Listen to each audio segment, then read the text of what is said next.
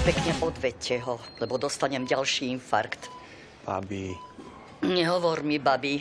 Ja som totiž to bola v tom, že študuje právo. veď študujem. A ako kto? Ako Ivo alebo ako Enrico? Ani ty si si ma nezavolala pod svojim menom. Ako som mal vedieť, že pani Helga si ty? Myslíš, že ja som z toho šok nemal, keď som vošiel do bytu pani Marty? A tam sedíš ty. Nečuduj sa, že som ušiel. Až mama mi zavolala, že si v nemocnici. Zmizni, už ťa nechcem ani vidieť. Ale dovolenku s mamou na Sardínii si si užila, nie? Povedala mi, že si našiel popri škole úžasnú prácu. Páne Bože moja, úbohá dcéra. Ale to je úžasná práca. Vraciam radosť tam, kde je väčšinou len smutok.